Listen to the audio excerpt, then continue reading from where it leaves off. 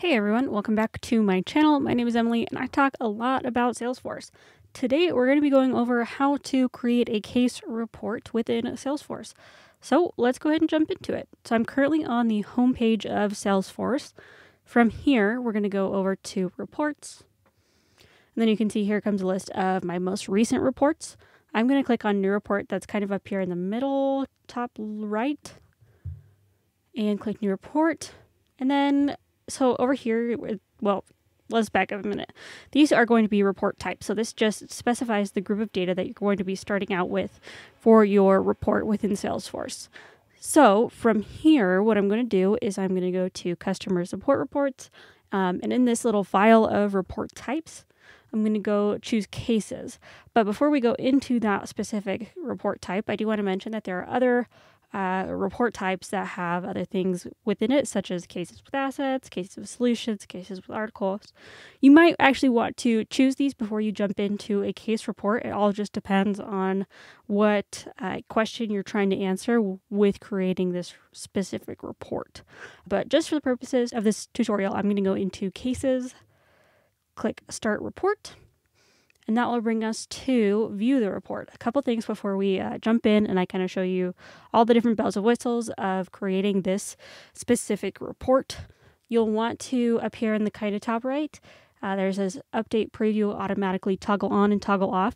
It is extremely useful to you to have this toggled on. So then you don't have to save and run every time that you make a change. This will automatically update what you're seeing right now within the report.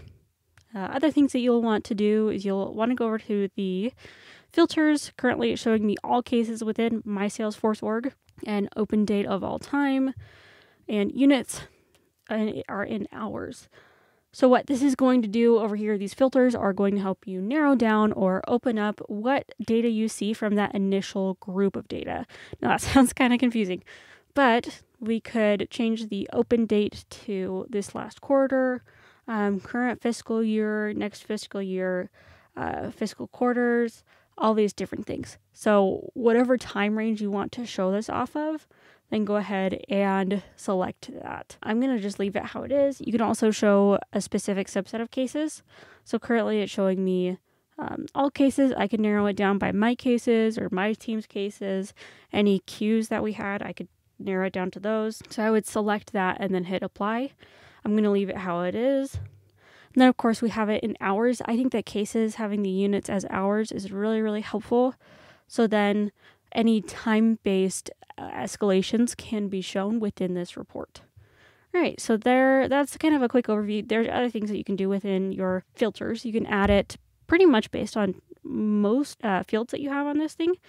So you could do status, uh, you could show only ones that are new, you could show working or closed or escalated. Let's go ahead and see if they have any in escalated.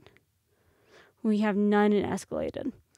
And see if we have any in new and escalated.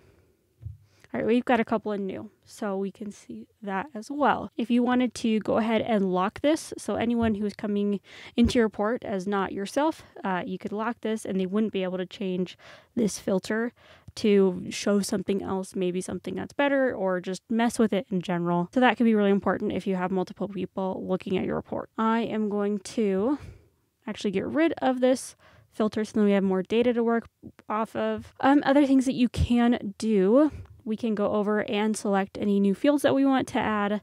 Maybe we want to add type. I am going to drag it over here. All right, now we can see the type. We could also put the case number as well over here. If you double click, it does the same thing and it'll add it to the very left of it. And yeah, you can do anything. Um, most record types have other objects or other groups of data that you can pull in data from. So, specifically for the cases, you can bring in most data from the account that is associated with the case. So, what that means is, let's say I had um, a case for United Oil and Gas Corp, uh, and it was associated with that account, then I would be able to bring in some pertinent information that is specified on the report type in the backend and be able to pull things off of the account record that was associated. So I could pull in their uh, address or their billing address or where we would need to contact that person from the account. So that's a little bit on that. Let's go ahead. I'm going to exit out of fields here, go to outline. We can do some really awesome things. One thing I like to do is I like to group things. Um, let's go ahead and group it by type, and I'll show you what that kind of does. That will group together. Uh, so type is a pick list field. Uh, what pick list fields do is you're able to choose one out of many different options, and this one is currently type. So we have uh, mechanical issues, electrical issues, electronic issues, structural issues. So what we could do is we could group those by uh, the type. So I currently have mechanical, electrical, electronic, structural, all grouped into their own thing. And regardless of other than just it's nice to know how many are in each section. This can also help you understand from a business standpoint of what issues are most common and what should we report back to higher management that needs to be fixed with the product or that we can do a better job of creating users training on it or all different types of use cases. So that is really, really helpful. And then you can do other things. Um, if you have like a number field, so on opportunities, oftentimes you can summarize by the amount. Here, we don't really have too much unless there's like a lost revenue number, but we can summarize or average out the average age of each case.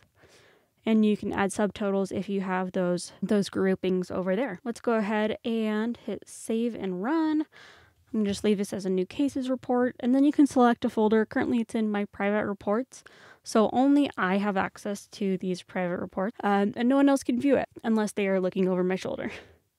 All right, I'm gonna hit save, and we have created a new cases report. Other things that you can do here, you can refresh it.